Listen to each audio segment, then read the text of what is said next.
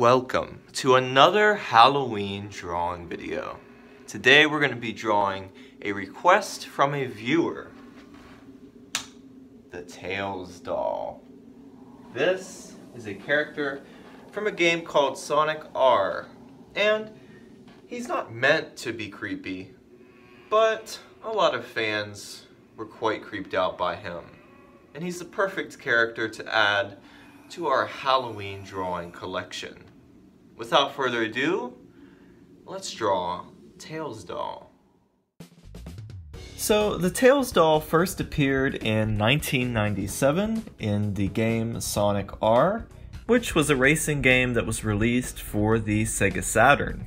The Tails doll can be unlocked in this game on the Radical City course.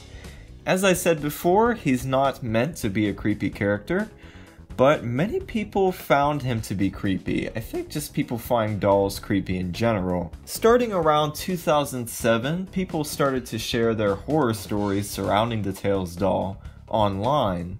But from 2009 and onward, these scary stories started to pick up, and the Tails doll quickly became known as a creepy character that would haunt people who played the game.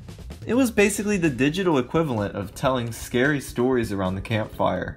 These stories became so popular that Sega themselves kind of addressed them in the game LEGO Dimensions, where one of the Ghost Hunter characters wants to find the Tails doll and study him.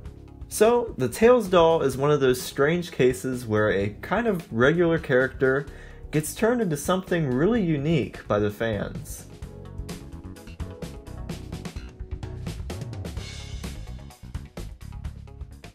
All right, now we're gonna add some color in our painting software.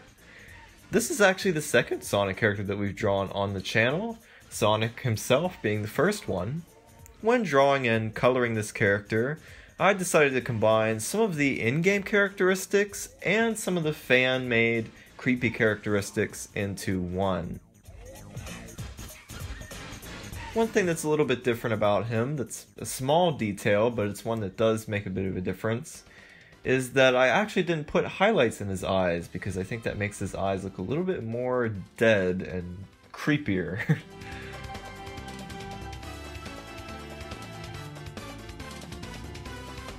One thing too that has been depicted in different ways is that little thing on his head.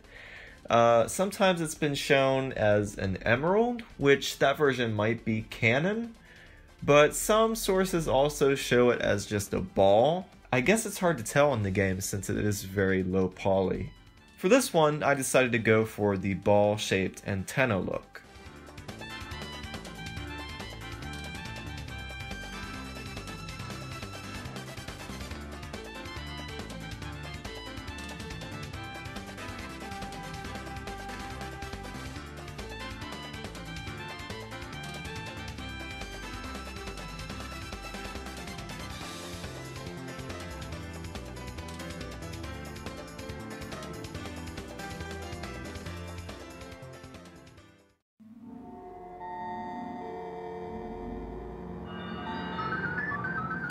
Well, I hope you enjoyed today's drawing video.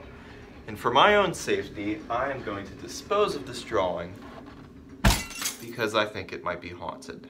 As always guys, if you enjoyed this video, be sure to leave a like, and if you're new here, we want to welcome you to the channel. If you want to see more content like this, consider giving our channel a subscribe. And I want to give a big thank you to each and every one of our patrons who have made this video possible. We want to thank you so much for your support. If you'd like to help support the channel, you can visit the link down below for more information. I hope you all have a great rest of your week, and I'll see you in the next video.